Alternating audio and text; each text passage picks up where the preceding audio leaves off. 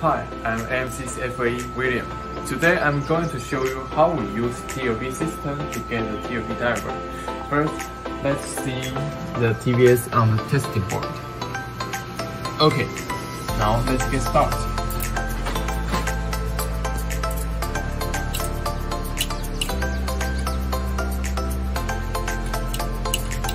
The sound you hear now is the TLP system displays different transient voltage to the TVS separately. And as you can see on the right hand side block is the current and voltage measured in real time from TVS. And the computer will collect this data by averaging 70 nanoseconds to 90 nanoseconds as a point recording to the left hand side block. Each transient voltage will get a point. Computer will connect all the points in order, and that is the TLP diagram. TLP diagram shows a very important parameter of a TVS, clamping voltage. The lower clamping voltage is the better protection capability of a TVS.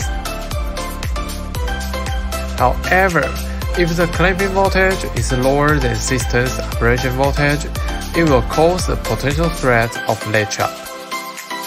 Besides showing the clamping voltage, TLP diagram also helps us to pick up the right TVS. For example, a system's operation voltage is 5. If one of a TVS clamping voltage in TLP diagram is lower than 5, it may cause a malfunction.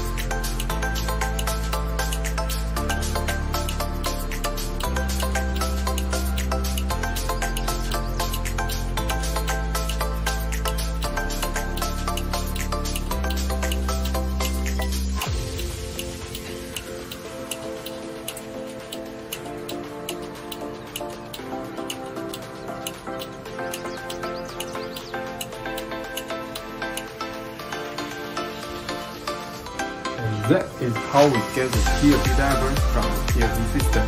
Thank you.